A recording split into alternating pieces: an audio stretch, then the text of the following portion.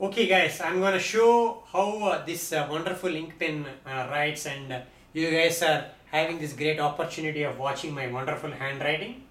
So I'm gonna write. First I think ink has to flow.